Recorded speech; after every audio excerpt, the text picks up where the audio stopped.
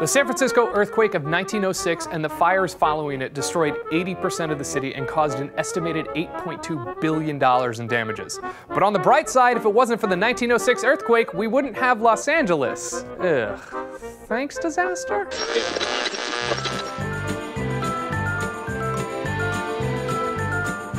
Okay, so the 1906 earthquake didn't found Los Angeles. Didn't even wait in line at the State House to register Los Angeles as an incorporated municipality.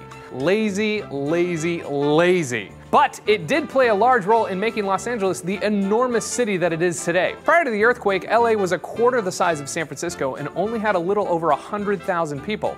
They had some industry, like oil, which was discovered there in 1896, and a railroad, but LA was largely farmland and orange groves pretty unrecognizable from the steaming pile of city we have there today. The true heart of the western United States was San Francisco. At the time of the earthquake, the city by the bay was the ninth largest in the US and by far the largest on the west coast. It was known as the gateway to the Pacific and was the access point through which the US military and economy accessed the western world. Then, on April 18, 1906, at 5:12 a.m., the San Andreas Fault ruptured, sending a 7.9 magnitude earthquake through San Francisco, and the landscape of American culture changed forever. More than 220,000 residents found themselves without a home, and countless merchants were put out of business.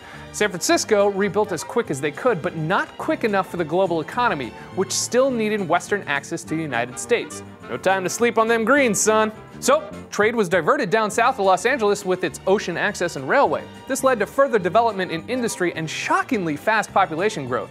By 1930, the population of Los Angeles had surpassed 1 million people, and by 1960, Los Angeles grew to be the second largest city in the United States, only surpassed in population and general dirtiness by New York. Just kidding, LA is way dirtier than New York, so thanks, disaster! Sorry about all the casual LA hating. We're based here in San Francisco, and some rivalries will never die. Please subscribe and let me know in the comments why you think San Francisco is a better city than LA. Here's a hint there are no wrong answers, people. Also, it's a terrible town. It's full of dirty, dirty people.